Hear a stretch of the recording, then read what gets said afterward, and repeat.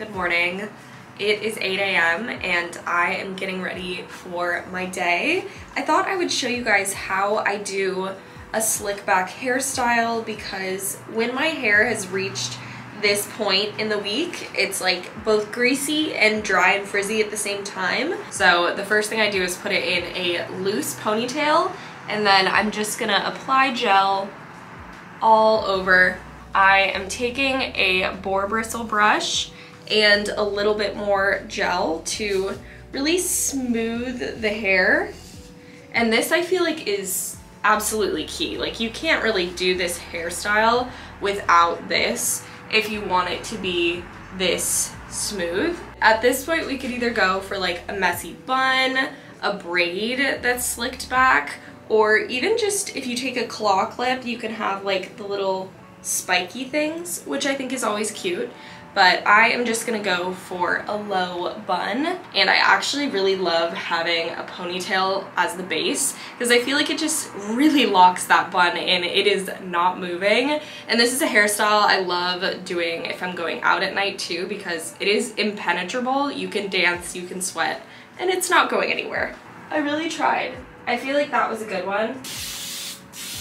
Sorry hitting it with some hairspray so it really lasts all day long. I'm mostly doing errands today, but I also need some groceries and I might get a coffee while I'm out. That is the completed look. I just put on my sunscreen and now we are ready to tackle this very gray, gloomy day. For breakfast, I'm making a yogurt and granola bowl with some fruit. I am really trying to focus on gut health and I'm not a huge fan of yogurt, but I know how good it is for me. So I try to make it as interesting as I can with granola and honey, just, you know, to make it really nice and textured. With breakfast, I take my gut health supplements from my doctor, but I've also recently added Nutrafol into my routine, and specifically their women's vegan formula, which is a hair growth supplement that targets your hair shedding at the source. So it has vitamin A, C, D, B12, zinc, selenium, which is so good for your thyroid, and a lot of supplements that I was supplementing separately that now I don't have to because they're all combined right here. It even has ashwagandha and a lot of ingredients that help with stress and sleep and really things that could be the root cause of your hair shedding. And I have always had really thin brittle nails and my lashes and brows lately have not been growing as thick as they used to. So I figured while I'm working on my gut health it would probably really benefit me to work on nutritional gaps in my diet and spaces that I haven't been the best at supplementing because it is really hard to remember to take all of those individually. So it's really easy. It's just four supplements and I like to take them with breakfast just because I feel like that is a meal that I consistently eat every day. This has been a really easy thing to incorporate into my routine. Consistency is always key when it comes to supplements, but it's clinically shown to improve hair growth and strength. So I will update you guys. It should take about three to six months but I look at my eyebrows and eyelashes and weak nails every single day. So I'm sure I will notice a difference and I will let you guys know. But if you want to check out Nutrafol, I will put the information in the description box. Thank you so much to them for sponsoring today's video. And now I think we're gonna go to the grocery store. This zip up is from Lacausa and I'm wearing my new sneakers that I just unboxed. These are from New Balance. They're the 2002R and they're so cute. They're beige. I got them off StockX and so far, very comfortable. I am like a huge New Balance fan, but my everyday pair, the 574s, I've completely like destroyed the tread on the bottom. It's just gone because I wear them to walk Sammy every morning. So these are gonna be my new everyday shoe. Made it out alive. Uh, the parking lot was getting so crazy as I left. I am so grateful that I can go grocery shopping during the week when it's less busy, but sometimes it's randomly still extremely busy. Um, but I got my groceries and I also picked up Sammy's dog food because I was running out and I get it frozen.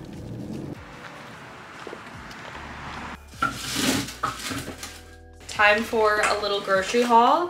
This isn't a whole lot of stuff, just kind of like a re-up on some produce and eggs.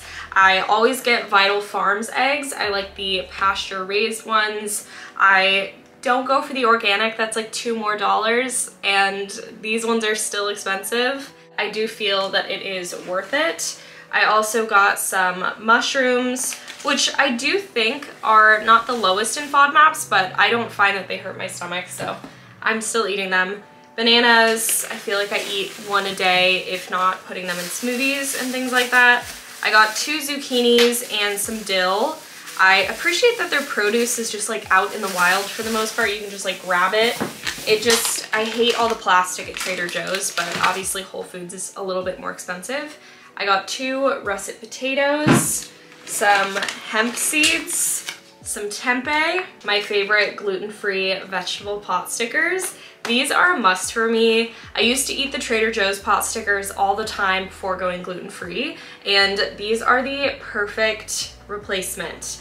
They are only at some Whole Foods locations though, which is a little bit frustrating.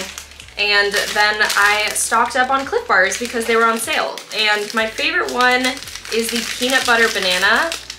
It tastes like banana bread. And these are just perfect for when I'm out of the house and need a little pick-me-up. I'm someone that like gets very hangry very quickly, so I like to keep these on hand so that my friends don't get mad at me and that I don't get mad at them.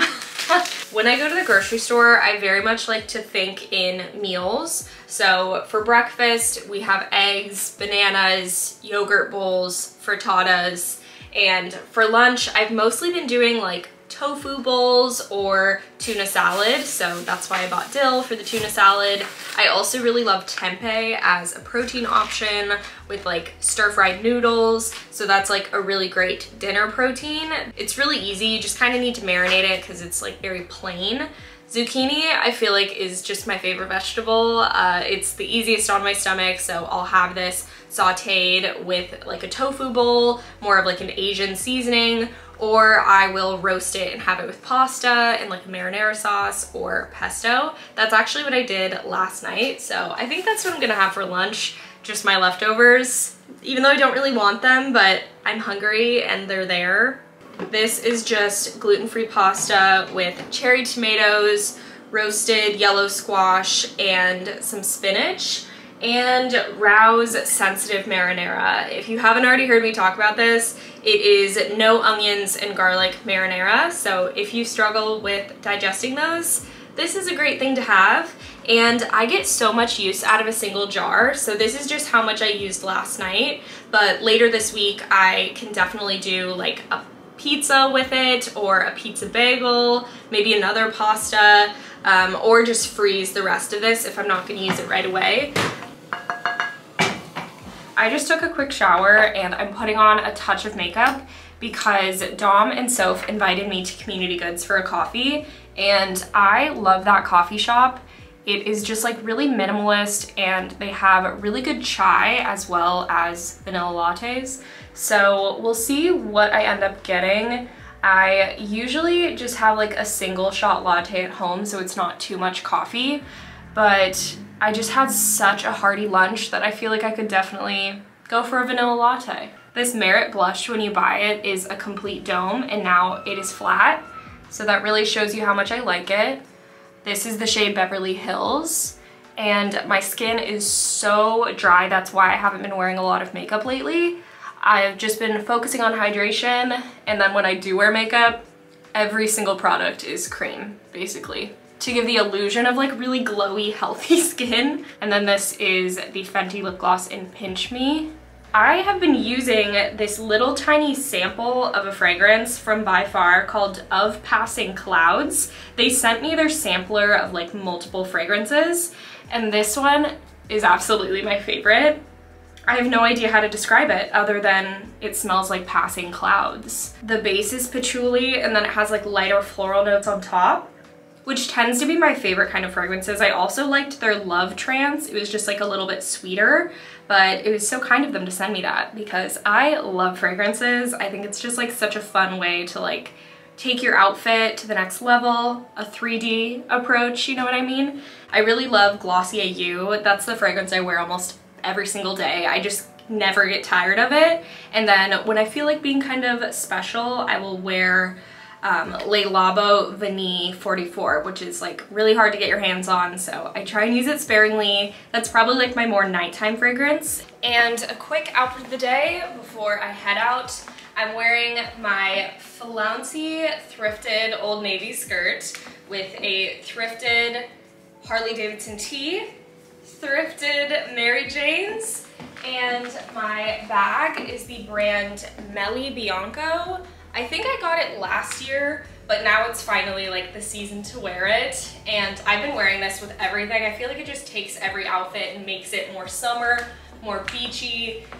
That's my outfit. I'll get a vanilla bean latte iced with almond milk. Oh my god, thank you. You got me last time. Wow, you're so kind. I will do the same. Same thing. Oh, these shoes are sick. Thank you. I thrifted them.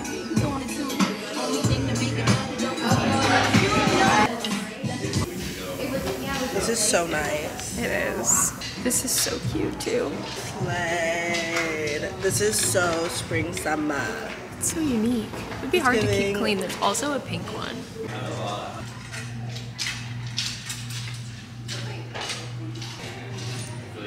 It's the toe. It's the toe.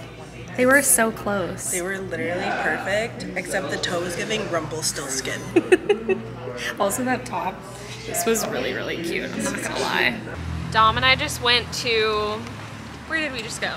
We went to Community Goods, then we went to Reformation Vintage, now we're walking around the neighborhood to get back to the car. We took in some inspiration. That store is so cute. It's so cute. But just expensive because they curate is. it very yeah. well. I feel like if I have to think too hard about anything. Well, a tank top just shouldn't be seventy dollars. It just shouldn't. And also, I'm like, if I like literally can't stop thinking about it, then I'm like, okay, maybe. Yeah. But I just... bought like one thing from there, and it was because I had that like draw. Yeah. But if you're not, if you don't love it, if you don't yeah. love it, which I feel like is what they're going for anyways, like they want people to love what they're buying, mm-hmm. which is why they price with confidence. I am home, obviously, and I am just importing some footage from today's vlog and also yesterday because I shot recreating outfits from Pinterest and it was so much fun. But anytime I do one of those I'm way too tired afterward to edit it. So filmed it yesterday. Gonna rough cut it today. Probably gonna finish it up like within the next two days and then turn it into the brand. So that's kind of like what my workflow is like. We had a great time and we ran into another friend and she said that we smelled good. And that is the best compliment ever, especially because I was wearing a new fragrance today. It just, you know, confirms that, okay, it does smell good on me. because every fragrance does kind of like adjust to your natural scent. And then Dom was wearing Noir something, Noir Normally I would start prepping for dinner around now, but I'm going to Zinque with my boyfriend because he worked through lunch and needed something to look forward to. So I am very excited. I really love that restaurant. I'm probably gonna get like a salad with some salmon on top, maybe some shoestring fries. It's my favorite kind and it'll be really great. I'm excited. This weekend, I'm going to Joshua Tree for one of my best friend's birthdays. So my parents are watching Sammy so that we can all just like leave from LA and go to Joshua Tree and I don't have to worry about like dropping her off down in Orange County and then going to Joshua Tree. So that's why I don't have a little Sammy running around and I do feel like I'm able to be so much more productive, but I feel better when I'm starting my day with a 30 minute walk and without her, it's like hard for me to do that or at least I just, I don't know, it's like I'm out of my routine. Oh my God, in an amazing turn of events, this morning I'm driving to Cerritos to see a car that I might buy with my parents because I've been driving my mom's car, she wants it back, and I've been looking at RAV4s. That's what I want. That's what I had. I just want the newer one, a hybrid, and that's where I'm going right now. So, fingers crossed. Okay, it has a cute blinker noise.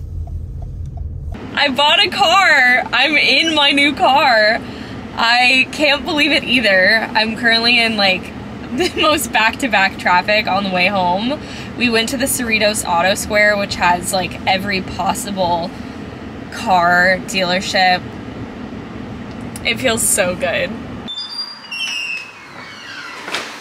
I was so hungry after my workout class, I like can't even think straight.